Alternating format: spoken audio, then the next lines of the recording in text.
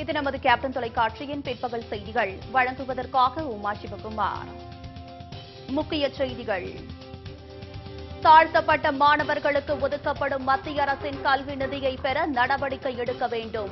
தமிழக அரசுக்கு தேமுதிக தலைவர் கேப்டன் விஜயகாந்த் வலியுறுத்தல். திருப்பதி அருகே செம்மரம் வெட்ட சென்றதாக எண்பத்து நான்கு தமிழக தொழிலாளர்கள் கைது. எதற்காக அழைத்து வரப்பட்டோம் என தெரியாது என தொழிலாளர்கள் குமுறல். காவேரி தீர்ப்பு குறித்து ஆலோசிக்க கர்நாடகாவில் அனைத்து கட்சி கூட்டம். முதலமைச்சர் சித்தராமையா அறிவிப்பு. கிரானைட் நிறுவனத்தின் முப்பத்தி எட்டு கோடி ரூபாய் சொத்துகள் முடக்கம். முறைகேட்டை அடுத்து அமலாக்கத்துறை நடவடிக்கை.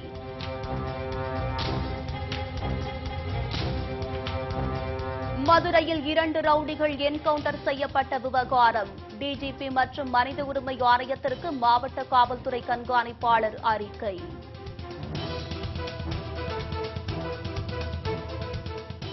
ஒரே ஒரு ஜிஎஸ்டி வரி விதிப்பு என்பது செயல்படுத்த முடியாத ஒன்று. நிதியமைச்சர் அருண்ஜேட்லி விளக்கம்.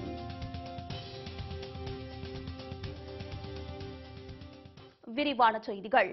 தாழ்த்தப்பட்ட மாணவர்கள் மற்றும் மலைவாழ் மாணவர்கள் கல்வி நலனை மேம்படுத்த மத்திய அரசிடமிருந்து நிதியை பெற தமிழக அரசு உடனடியாக நடவடிக்கை எடுக்க வேண்டும் என தேமுதிக தலைவர் கேப்டன் விஜயகாந்த் வலியுறுத்தியுள்ளார்.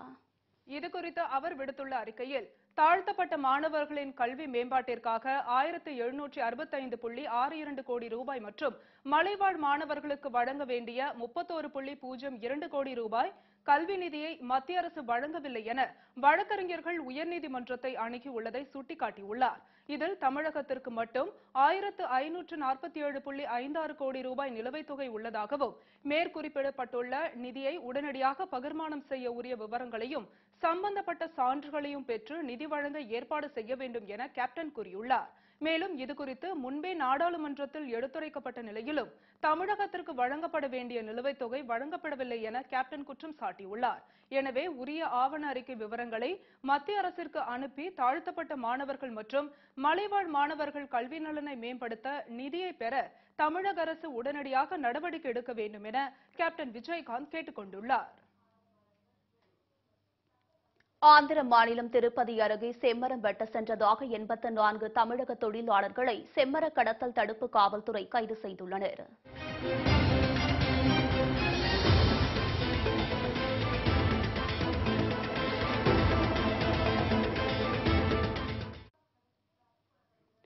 திருப்பதியில் இருந்து கடப்பா செல்லும் சாலையில் இன்று அதிகாலை செம்மர கடத்தல் தடுப்பு பிரிவு போலீசார் நான்கு குழுக்களாக பிரிந்து வாகன சோதனையில் ஈடுபட்டனர். ஆஞ்சநேயபுரம் சோதனை சாவடியில் தார்பாய் மூடப்பட்டு வேகமாக ஒரு லாரி ஒன்று வந்தது. அதனை மடக்கி சோதனை செய்தனர். அந்த லாரியில் நெருக்கிய தட்டபடி விலங்குகளைப் போல் எண்பத்து நான்கு கூலி தொழிலாளர்கள் இருந்தனர். அவர்களை செம்மரம் கடத்த வந்ததாக கூறி போலீசார் கைது செய்தனர். அனைவரையும் திருப்பதி செம்மர கடத்தல் தடுப்பு பிரிவு போலீஸ் நிலையத்திற்கு அழைத்து சென்று விசாரணை நடத்தி வருகின்றனர். கைதான அனைவரும் வேலூர் திருவண்ணாமலை விழுப்புரம் மாவட்டங்களைச் சேர்ந்தவர்கள் என தெரியவந்துள்ளது. இவர்களில் கல்லூரி மாணவர்களும் இளைஞர்களும் அடங்குவர்.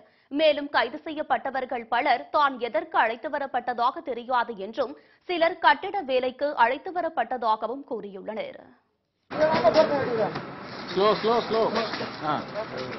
మెల్లగా మెల్లగా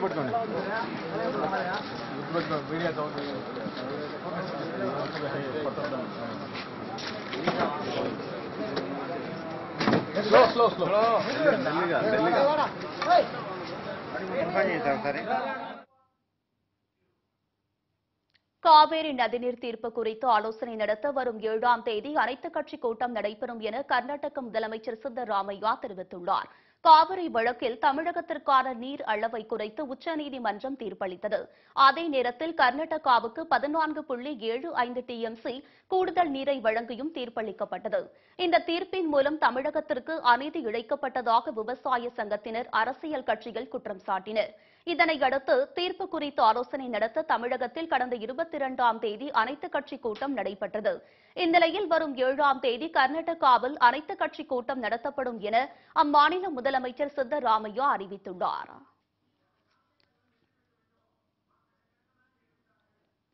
மதுரை மாவட்டத்தில் நடைபெற்ற கிரானைட் முறைகேடுகள் தொடர்பாக கிரானைட் நிறுவனத்தில் முப்பத்தி எட்டு கோடி ரூபாய் சொத்துக்களை அமலாக்கத்துறை முடக்கியுள்ளது.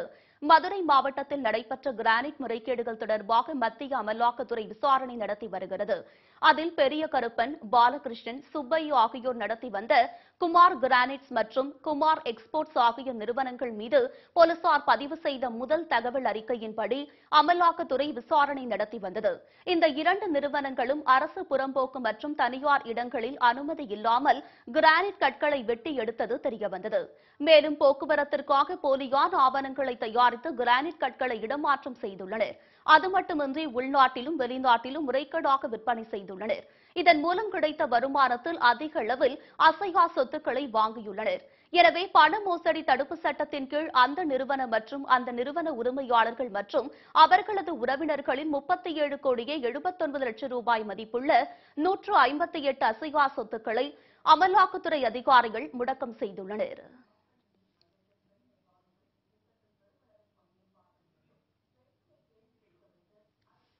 பல்வேறு ஏற்றத்தாழ்வுகள் நிலவுவதால் அனைவரும் ஏற்றுக்கொள்ளும் வகையில் ஒரே ஒரு ஜிஎஸ்டி வரி விதிப்பு என்பது செயல்படுத்த முடியாது என நிதியமைச்சர் அருண்ஜேட்லி தெரிவித்துள்ளார். ஜிஎஸ்டி வரி கடந்த ஆண்டு ஜூலை மாதம் முதல் அமல்படுத்தப்பட்டது. இச்சட்டம் தாக்கல் செய்யப்பட்ட போது நான்கு விதமான ஜிஎஸ்டி வரி முறையானது நடைமுறைப்படுத்தப்படும் என்றும் பின்னர் வர்த்தகர்கள் மற்றும் தொழில் நிறுவனங்களின் கோரிக்கைக்கு ஏற்ப பின்னர் படிப்படியாக ஒரே ஒரு ஜிஎஸ்டி வரி விகிதம் அமல்படுத்தப்படும் என்றும் நிதியமைச்சர் அருண் ஜேட்லி உறுதியளித்தார். அதனைத் தொடர்ந்து ஒவ்வொரு மாதமும் நடைபெற்ற ஜிஎஸ்டி கவுன்சில் கூட்டத்தில் பொருட்களுக்கான வரி விகிதங்கள் மட்டுமே மாற்றியமைக்கப்பட்டதால் வர்த்தகர்களும் தொழில் நிறுவனங்களும் கடும் அதிருப்தியில் உள்ளனர். இதனையடுத்து ஜிஎஸ்டி வரிமுறையில் சீர்திருத்தம் செய்யப்போவதாகவும் நான்கு விதமான வரிமுறையை ஒரே வரி முறையாக மாற்றும் திட்டம் இருப்பதாகவும் அருண் ஜேட்லி தெரிவித்திருந்தார். இந்நிலையில் நம் நாட்டை பொறுத்தவரை ஒரே வரி விகிதம் என்பது நடக்காத காரியம் என்று அவர் தற்போது தெரிவித்துள்ளார். இரண்டு விதமான வரி விதிப்பு முறையை ஒன்றாக இணைக்க முற்படும் போது இணைப்பதற்கான சாதகமான சூழல் ஏற்படுவதற்கு நீண்ட கால அவகாசம் தேவைப்படும் என்றும் அவர் கூறியுள்ளார்.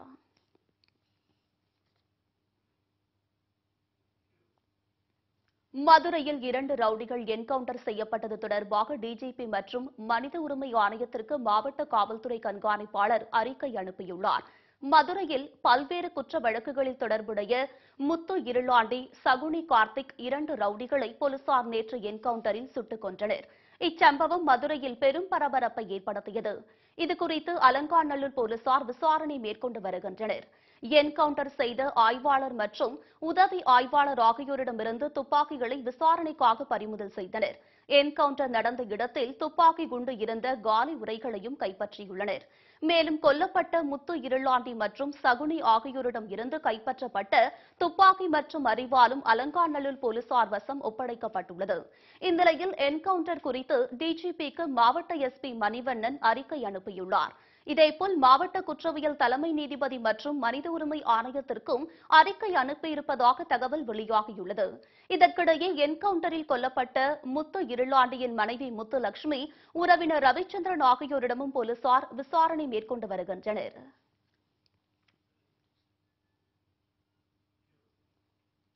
தலைமைச் செயலகத்திற்குள் அத்துமீறி நுழைந்ததாக தங்க தமிழ்ச்செல்வன் வெற்றிவேல் ஆகியோர் மீது வழக்கு பதிவு செய்யப்பட்டுள்ளது. அவர்களை பிடிக்க தனிப்படைகள் அமைக்கப்பட்டுள்ளது. டிடிவி தினகரன் ஆதரவாளர்களான தங்க தமிழ்ச்செல்வன் மற்றும் வெற்றிவேல் நேற்று தலைமைச் செயலகத்தில் செய்தியாளர்களை சந்தித்தனர். அப்போது முதலமைச்சர் எடப்பாடி பழனிசாமி மீது முறைகேடு புகார் தெரிவித்தனர்.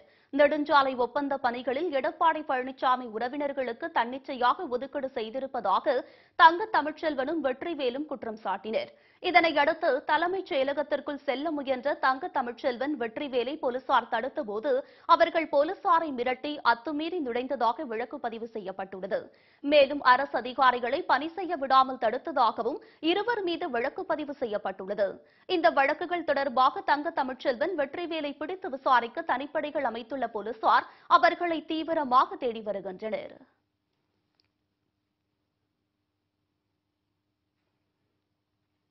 தீவிரவாதத்திற்கு எதிரான போர் எந்த ஒரு தனிப்பட்ட மதத்திற்கும் எதிரானது அல்ல என பிரதமர் நரேந்திர மோடி தெரிவித்துள்ளார். ஜோர்டான் மன்னர் இரண்டாம் அப்துல்லா பின் அல் உசைன் மூன்று நாள் பயணமாக இந்தியா வந்துள்ளார். அவரது சுற்றுப்பயணத்தின் நிறைவு நாளில் டெல்லியில் நடைபெற்ற மாநாட்டில் பேசிய பிரதமர் இதனை தெரிவித்தார். உலகில் உள்ள அனைத்து முக்கியமான மதங்களின் தொட்டிலாக இந்தியா விளங்கி வருவதாக தெரிவித்த பிரதமர் இந்த நீண்டகால பன்மைத்துவத்தின் அடையாளமே இந்திய ஜனநாயகம் என்று பெருமிதம் தெரிவித்தாா் மேலும் தங்கள் மதத்துக்காக தீவிரவாதத்தை ஆதரிப்பதாக கூறுபவர்கள் உண்மையில் தங்கள் சொந்த மதத்தையே காயப்படுத்துவதாகவும் தீவிரவாதத்திற்கு எதிரான போர் என்பது எந்த ஒரு தனிப்பட்ட மதத்துக்கும் எதிரானது அல்ல என்று தெரிவித்தார். மாறாக இளைஞர்களை தீவிரவாதத்தை நோக்கி தள்ளுவது அப்பாவிகளை சித்திரவதைக்கு தூண்டுவது போன்ற தவறான வழிநடத்தலுக்கு எதிரானதே இந்த போர் என்றும் பிரதமர் அப்போது தெரிவித்தார். மகளிர் தினத்தையொட்டி திருச்சி மாநகராட்சிக்கு உட்பட்ட செல்லூர் பகுதியில் வரும் பதினோராம் தேதி திருமதி பிரேமலதா விஜயகாந்த் தலைமையில் மாபெரும் பொதுக்கூட்டம் நடைபெறவுள்ளதாக தேமுதிக தலைமைக் கழகம் அறிவித்துள்ளது. இது தொடர்பாக தலைமைக் கழகம் விடுத்துள்ள செய்திக்குறிப்பில் சிறப்பு வாய்ந்த பெண்களின் நலனையும் பெருமையையும் காத்திடும் வகையிலும் பெண்ணுரிமை காப்போம் என்ற முழக்கத்துடன் வருகின்ற பதினொன்று மூன்று இரண்டாயிரத்தி பதினெட்டு அன்று மாலை ஐந்து மணியளவில் திருச்சி மாநகராட்சிக்கு உட்பட்ட செல்லூர் பகுதியில் உழவர் சந்தை மைதானத்தில் மாபெரும் மகளிர் தின பொதுக்கூட்டம் நடைபெறவுள்ளதாக கூறப்பட்டுள்ளது.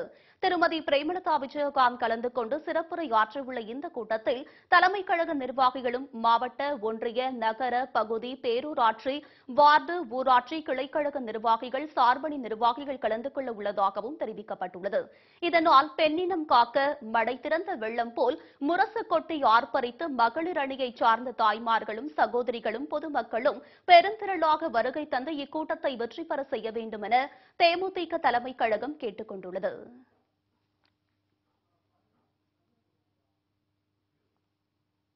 சென்னையில் ஹோலி பண்டிகை கோலாகலமாக கொண்டாடப்பட்டு வருகிறது. வட இந்தியர்கள் அதிகம் வசிக்கும் பகுதியில் மக்கள் ஒருவருக்கொருவர் வண்ண பொடிகளை பூசியும் வண்ண நீரை பாய்ச்சியும் உற்சாகமாக கொண்டாடி வருகின்றனர்.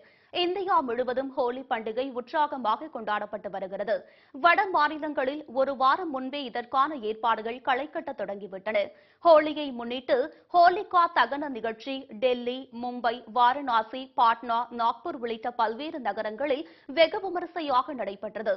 இன்று ஹோலி பண்டிகையை முன்னிட்டு ஒருவருக்கொருவர் வண்ண பொடிகளை பூசியும் வண்ண நீரை பாய்ச்சியும் பெண்கள் ஆண்கள் குழந்தைகள் உற்சாகமாக கொண்டாடி வருகின்றனர். தமிழகத்தில் ஹோலி பண்டிகை கோலாகலமாக கொண்டாடப்பட்டு வருகிறது. சென்னையில் வட இந்தியர்கள் அதிகம் வசிக்கும் சவுகார்பேட்டை பாரிமுனை வேப்பேரி புரசைவாக்கம் உள்ளிட்ட பகுதிகளில் ஹோலி பண்டிகை கலை கட்டியது. ஒருவருக்கொருவர் வண்ண பொடிகளை பூசியும் வண்ண நீரை பாய்ச்சியும் உற்சாகமாக கொண்டாடி வருகின்றனர். நாங்கள் வருஷத்துக்கு இது ஒரு வாட்டி கொண்டாடுவோம். எல்லா வருஷமும் வராது. ஒரு நாள் வந்தாலும் சிறப்பாக கொண்டாடுவோம். எல்லாருமே சேர்ந்து ஃப்ரெண்ட்ஸ் எல்லாம் சேர்ந்து கொண்டாடுவோம். ரொம்ப ஜாலியாக இருக்கும். நல்லது ஃபேமிலியோடும் செலிப்ரேட் பண்ணுவோம். அதை விட ஃப்ரெண்ட்ஸோட செலிப்ரேட் பண்ணால் இன்னும் நல்லா இருக்கும்னு எல்லாருமே ஃப்ரெண்ட்ஸ் எல்லாம் சேர்ந்து கொண்டாடுவோம். பல்வேறு நிகழ்வுகளை இனி சுருக்கமாக செய்தித்துறைகளாக காண்போம்.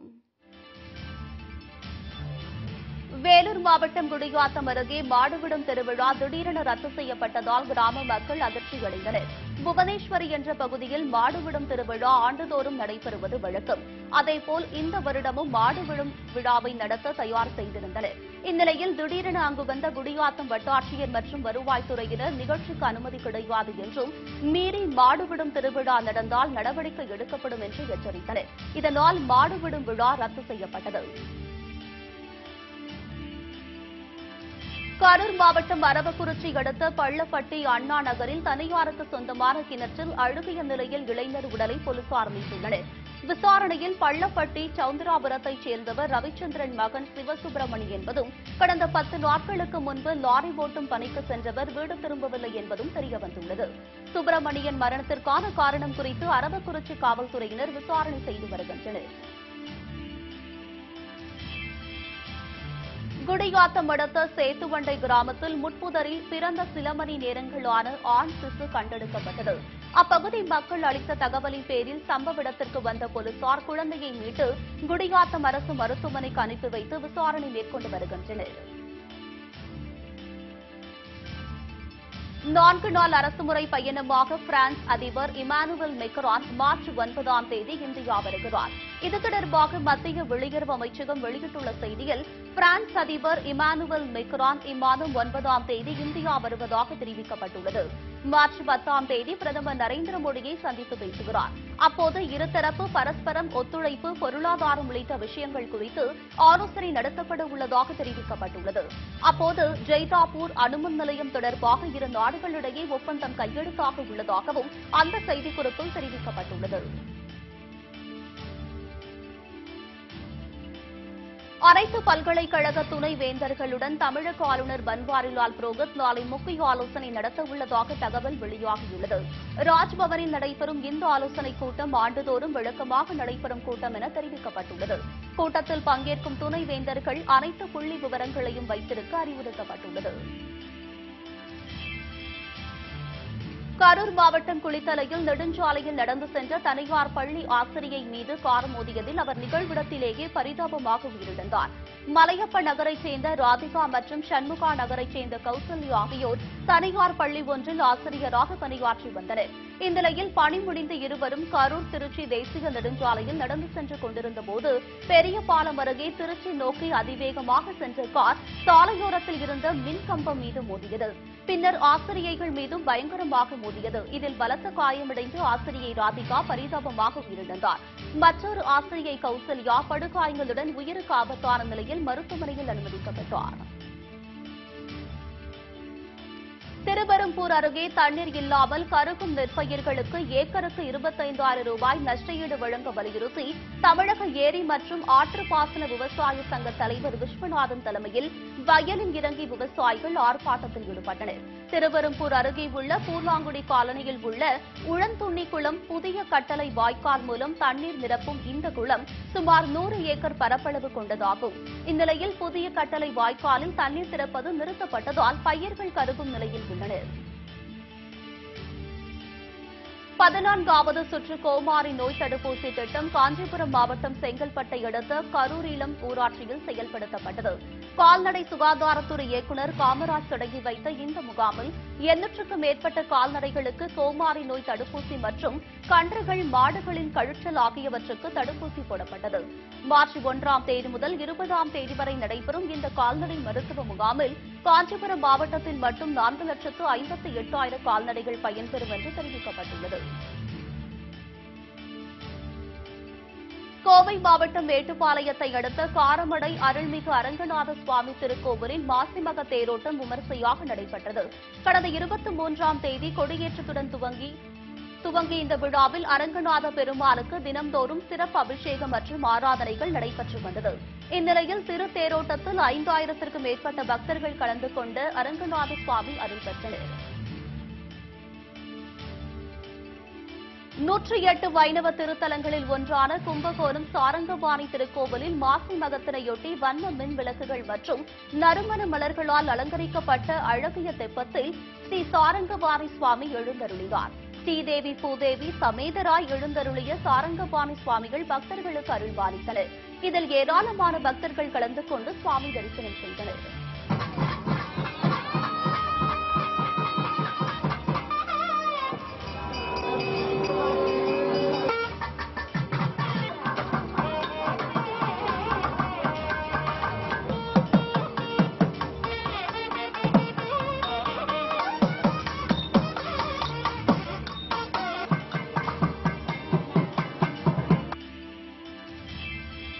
திண்டுக்கல் அருகே பிரிந்து வாழ்ந்த மனைவியை சேர்ந்து வாழ அழைத்த கணவனை மைத்துனர் கத்தியால் குத்தி கொலை செய்த சம்பவம் பரபரப்பை ஏற்படுத்தியுள்ளது. திண்டுக்கல் அருகே உள்ள லட்சுமணபுரத்தைச் சேர்ந்தவர் நாகராஜ். குடும்ப பிரச்சினை காரணமாக மனைவி சின்னமனை ஒரு வருடமாக நாகராஜை பிரிந்து வாழ்ந்து வந்துள்ளார். இந்நிலையில் மீண்டும் தன்னுடன் சேர்ந்து வாழ சின்னமனையை அழைக்க அவரது வீட்டிற்கு நாகராஜ் சென்றுள்ளார். அப்போது சின்னமணியின் தம்பி வீரமணியும் சின்னமணியின் அக்கா கணவர் பாபுவும் நாகராஜுடன் கடும் வாக்குவாதத்தில் ஈடுபட்டனர். வாக்குவாதம் முற்றிய நிலையில் இருவரும் இணைந்து கத்தியால் நாகராஜை சரமாரியாக தாக்கியுள்ளனர். இதில் பலத்த காயமடைந்த நாகராஜ் சம்பவ இடத்திலேயே உயிரிழந்தார். தகவல் அறிந்து வந்த தாலுகா காவல் நிலைய போலீசார் நாகராஜ் உடலை கைப்பற்றி பிரேத பரிசோதனைக்காக திண்டுக்கல் அரசு மருத்துவமனைக்கு அனுப்பி வைத்து விசாரணை மேற்கொண்டு வருகின்றனர். சிவகங்கையில் வழக்கறிஞர்கள் மீது பொய் வழக்கு பதிந்து சிறைக்கு அனுப்பிய காவல்துறையினரை கண்டித்து மதுரை மாவட்ட நீதிமன்ற வழக்கறிஞர்கள் பணிகளை புறக்கணித்து ஒருநாள் வேலைநிறுத்தத்தில் ஈடுபட்டனர். மதுரை திருநகரைச் சேர்ந்த சட்டக்கல்லூரி மாணவர் திருமாறனை தாக்கிய காவல்துறை அதிகாரி மீது நடவடிக்கை எடுக்க வேண்டும் என்று அவர்கள் அப்போது வலியுறுத்தினர். உலக நன்மை வேண்டி கும்பகோணம் மகாமக குளத்தில் துறவியர்கள் பொதுமக்கள் என நூற்றுக்கணக்கானோர் ஒருசேர பங்கேற்ற மாசிமக ஆரத்தி விழா சிறப்பாக நடைபெற்றது இதில் ஏராளமானோர் கலந்து கொண்டு ஒரே நேரத்தில் நூற்றுக்கணக்கான தீபங்களை ஏற்றி நந்தி வாத்தியங்களை முழங்க வழிபட்டனர் அப்போது தேவார திருமுறைகள் நாலாயிர திவ்ய பிரபந்தம் சதுர்வேத பாராயணம் உள்ளிட்டவை நடைபெற்றன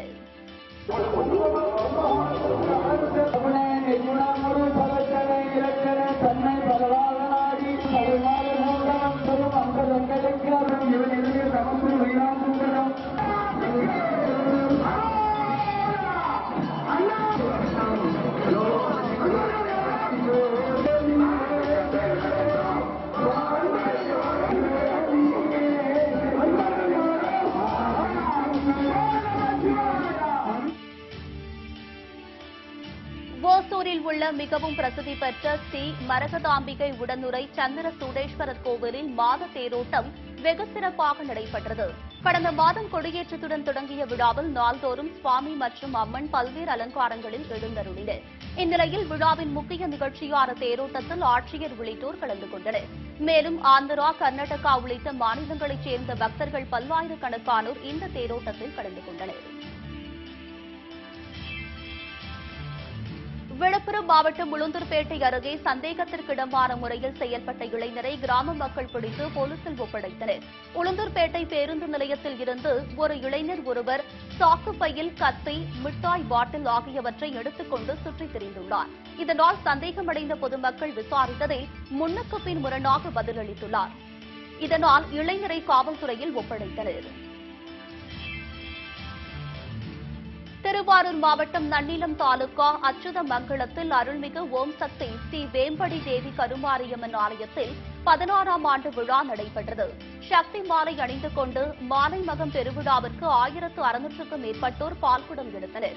கருமாரியம்மனுக்கு அபிஷேகம் செய்யப்பட்டது பக்தர்கள் சுவாமி தரிசனம் பெற்றனர். இதனைத் தொடர்ந்து பக்தர்கள் மற்றும் பொதுமக்களுக்கு அன்னதானம் வழங்கப்பட்டது. சென்னை திருவொற்றியூரில் தியாகராஜ சுவாமி உடனுரை வடிவுடை அம்மன் திருக்கோவிலில் மாசிமக பிரம்மோற்சவ விழாவையொட்டி தேமுதிக சார்பில் அன்னதானம் வழங்கப்பட்டது. மாசிமக பிரம்மோற்சவ திருவிழா நடைபெற்று முடிவடையும் நிலையில் நேற்று அம்மனுக்கு திருக்கல்யாணம் நடைபெற்றது. அந்த திருக்கல்யாணத்தை காண வந்த பல்லாயிரக்கணக்கான பக்தர்களுக்கு திருவற்றியூர் நெடுஞ்சாலையில் தேமுதிக திருவற்றியூர் பகுதி செயலாளர் ஆரோக்கியராஜ் தலைமையில் அன்னதானம் வழங்கப்பட்டது. தேமுதிக திருவற்றியூர் பகுதி துணை செயலாளர் முரளி மற்றும் தேமுதிக நிர்வாகிகள் தொண்டர்கள் இதற்கு ஏற்பாடு செய்திருந்தனர். புதுக்கோட்டை அருகே கிள்ளனூரில் நடைபெற்ற ஜல்லிக்கட்டில் மதுரை திருச்சி சிவகங்கை உள்ளிட்ட பல்வேறு மாவட்டங்களில் இருந்து எண்ணூற்றுக்கும் மேற்பட்ட காளைகளும் நூற்று ஐம்பதுக்கும் மேற்பட்ட மாடுபிடி வீரர்களும் கலந்து கொண்டனர். வாடிவாசலில் இருந்து சீறி பாய்ந்து வந்த காளைகள் பார்வையாளர்களை மெய்சிலிருக்க வைத்தது. இதில் வெற்றி பெற்ற காளைகளின் உரிமையாளர்களுக்கும் மாடுபிடி வீரர்களுக்கும் தங்கம் மற்றும் வெள்ளிக்காசுகள் பரிசாக வழங்கப்பட்டது. மேலும் பத்திற்கும் மேற்பட்டோர் லேசான காயமடைந்தனர்.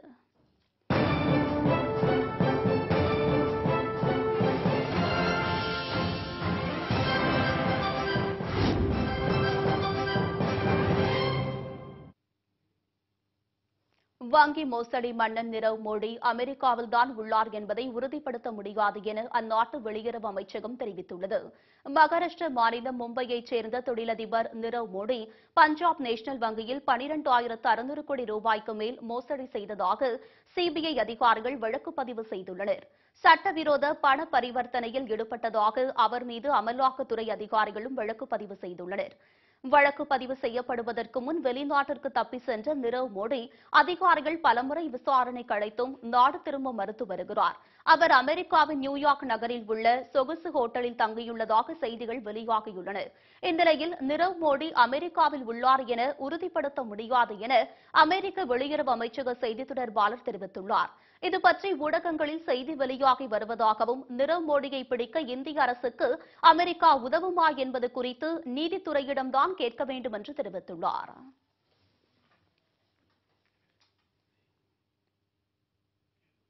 இத்துடன் செய்திகள் நிறைவடைகின்றன. உண்மை செய்திகளை உள்ளது உள்ளபடி உடனுக்குடன் தெரிந்து கொள்ள தொடர்ந்து இணைந்திருங்கள். நமது கேப்டன் தொலைக்காட்சியுடன். வணக்கம்.